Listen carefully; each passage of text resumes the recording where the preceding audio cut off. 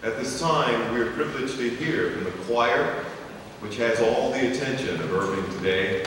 That is the University Church Choir. Joining uh, Irving in conducting and arranging is Carol Browning, who plays organ.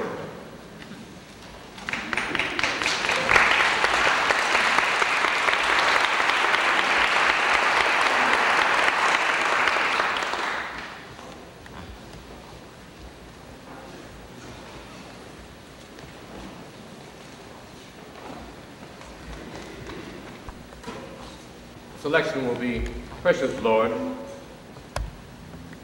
certainly a universal song.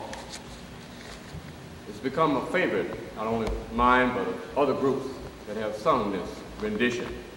This particular setting by a young man whom we're just fortunate to have had the opportunity to share his growth, the name of Arnold Sevier.